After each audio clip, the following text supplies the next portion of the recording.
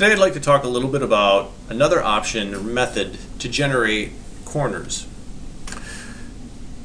Now the methods that I'm talking about can be used across various CAD systems. I know one of my subscribers recently was asking me questions in regards to uh, alternative methods because he was having a hard time with a previous method that I discussed in Alias. So this method is just another way that you can go about generating your corners. And again, a lot of times those corners are going to be determined by a stylist, how they want the light to flow. So for this, I'm going to use initially um, some intersections. I'm going to intersect these two, and I'm going to intersect here and here. Whoops, double click, there we go.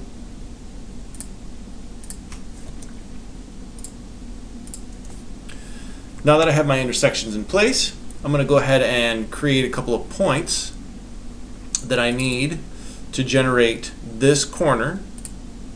So what's going to happen is, is I'm going to actually wrap this corner around. Go. So I need to basically mimic that shape with a frame, my curves. And this is 20. Now that I have that in place, I'm going to go ahead and generate my spline. I'm going to go from this point, this curve, to here, on support, and show parameters, and I want this to go curvature, and I'm going to up the tension.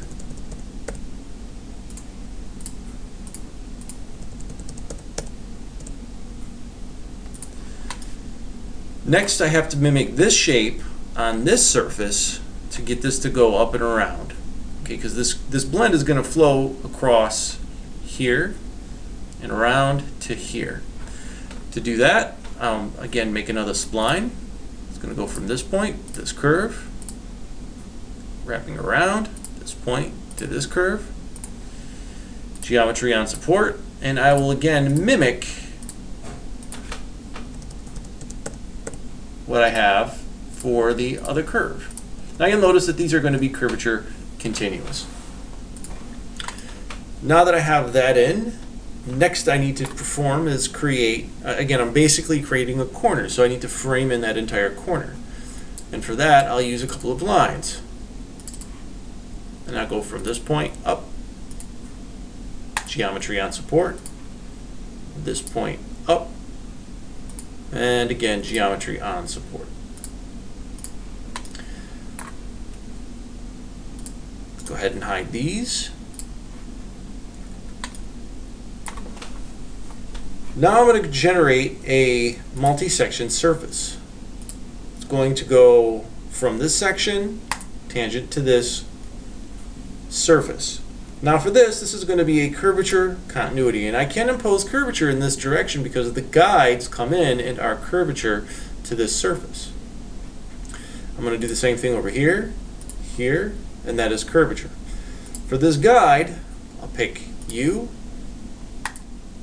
Now this is not going to be able to be a curvature continuity. The most it can be is tangent. The reason is, is this line doesn't come in curvature to this surface. If you were to generate a spline that did have a curvature continuity across, then you can perform that.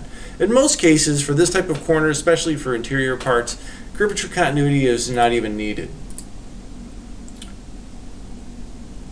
And then I need to add another guide to this surface. And again, tangent is acceptable. Select my OK, and there's my surface. Now I'm going to throw some highlight lines. Actually, let me uh, let me do this. Let me split everything up, and then I'm going to throw some highlight lines on here so you can see what good looks like. There we go. Split number one. Split number two. And last. Let me hide these. And I'm going to, actually let me split this as well. And I'll just hide all my curves and hide all my points. So as you can see, looks pretty good. I will put on some highlight lines. And now you can see those highlights come in, and rather than just simply following one, it sort of splits off and it, it follows both nice and cleanly. And this is good because once again, I have, let me show my splines here, show this point, this point, and this spline. So if I come in and make any sort of modification to this, and select OK, as soon as I fix this one, it'll update. The reason why it failed is the spline was coming in and switching around and coming off the surface. It was doing something, the spline was causing the fault with the multi-section surface. And then I can do the same thing with this spline. Maybe I want to change the tensions. Maybe I want to impose a higher tension on this because I want a loftier peak per se. So you can see I have all sorts of modifications that I can do to the surface. Now, same thing, I have these on as fillets. If I change the size of this or the, the, uh, the conic shape,